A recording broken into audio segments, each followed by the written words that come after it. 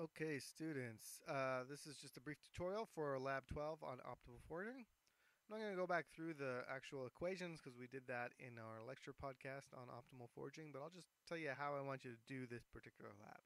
So read the introduction, the preamble to get a little sense of what's going on here. But basically the deal is that uh, you're going to do this sort of thought uh, experiment. But you're going to use real numbers from real restaurants on campus. Unfortunately, we're not on campus right now, so this may be a little nostalgic for you, but uh, hopefully it will be actually informative, and maybe you can put yourself into this sort of situation as a, for, a campus forager for fast food items. So there's a couple of things that you need to do. There's an Excel file that you need to download, and you can, if you have Excel or something like that, you can open it. You can also import it into Google Sheets, so you should have access to that through a, your Google account and it, it, it looks like this. So it's color coded. Basically, there's you have to choose three restaurants on campus. I happen to have chosen Starbucks, Subway, and uh, the Habit. I think maybe the lab tells you to choose those three.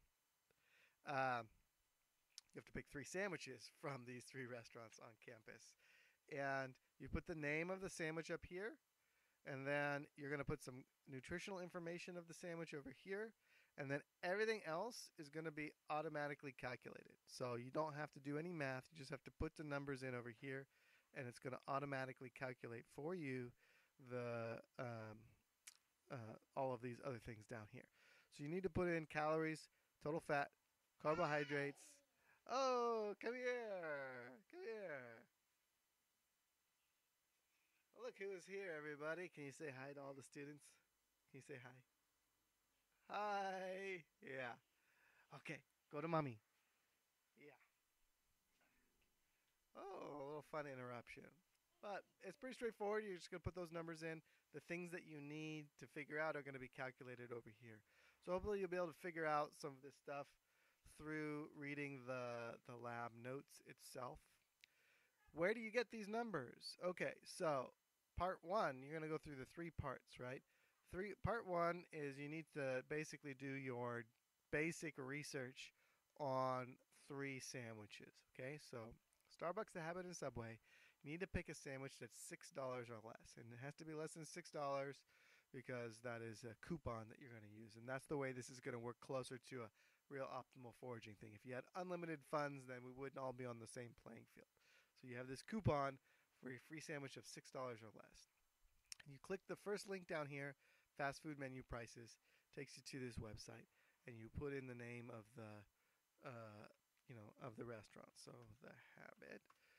And it'll give you a couple results. You want to find the one that has the prices and it should give you essentially their menu.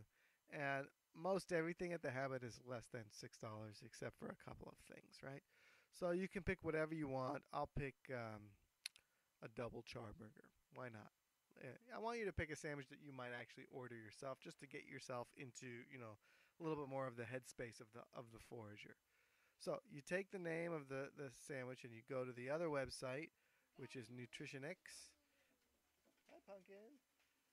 And you go to the search up here and you put double charburger, and it might pop up over here, but probably it's under branded food and you just want to find the one that's closest to what the sandwich is. You put in there double charburger, click it, and it takes you to nutrition facts, and that should give you everything you need so you can put it into your um, calculation over here. So I can put here double charburger, and the calories were 640, 640. The fat was 55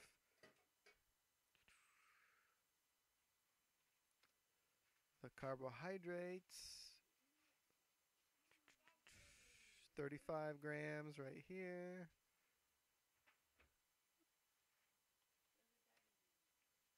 The uh, protein in grams is 39 grams.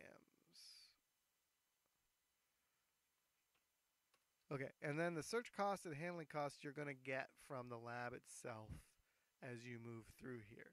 So basically, the first thing is you're going to put in three sandwiches just up to this point, and you're going to look down here at the percentage of your daily allowances, and you're essentially going to choose which sandwich is the biggest or you know the best bang for your buck. And it depends on which currency you use. So if we're going for calories, my double charburger is the best bang for, for my buck of these three sandwiches that I have in here.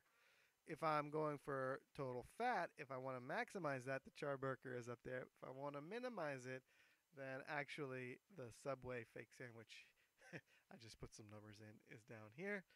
Uh, for carbohydrates, we the middle sandwich from from Subway would win, and for protein, it looks like the Charburger is going to win. So in this case, Charburger has won at least two out of three, and probably it's the best choice, bang for my buck, for calories, for protein, and pretty close for carbohydrates. And if fat is what I want, then it's definitely going to win in that realm as well. So that's basically the highest ranked, the second ranked, and the lowest ranked, right? That's how you're just going to rank them. You haven't really made your choice yet because this is now all else being equal. You have to put in your search costs and your handling costs. And you're going to get that from over here. You have to walk and wait.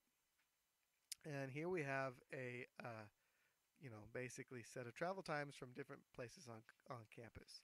You're starting from the the Commons, West Commons, and so to walk to the Habit takes nine minutes, and so you put nine minutes over here for search costs.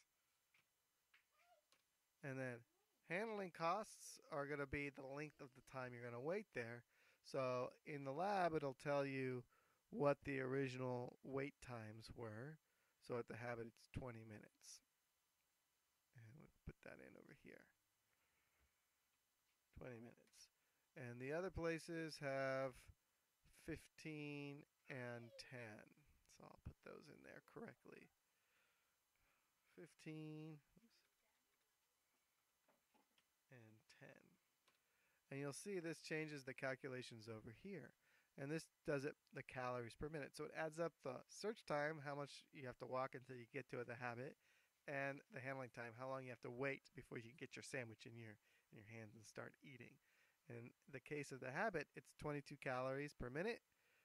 Subway is now 31 calories per minute, and Starbucks is 26 calories per minute because there's so much waiting time at the habit then it is uh, actually turns out to be not the best bang for your buck anymore, right? But if the search time went or the handling time went down to 10 minutes, that's going to change, right? And then all of a sudden you're going to change the balance. And if the wait time went up, so let's uh, go back here to 20 minutes and the best bang for our buck was actually our Subway. But you get to Subway, and in part three of the lab, it says, "Oh, you know, unexpected delay. You got to Subway. Let's say, and it's 35 minutes uh, instead of 10 minutes." All of a sudden, that thing goes down, and now Starbucks is the next. But you have to now take into account the walk time from Subway to Starbucks and the habit. So you got to go back up to your chart over here of walking times and you have to figure out where you're starting from and how long it takes. So now we we went to Subway because it was the bang for the buck, and we're right here, and we have to walk to um, the Habit, which is four minutes, and we have to walk to Starbucks, which is six minutes. So we're going to put those numbers into our uh, into our spreadsheet. We're going to put six, and then we're going to put four. I'm going to hit the thing again, and now all of a sudden it makes sense to go to the habit because the search time has changed for that as well.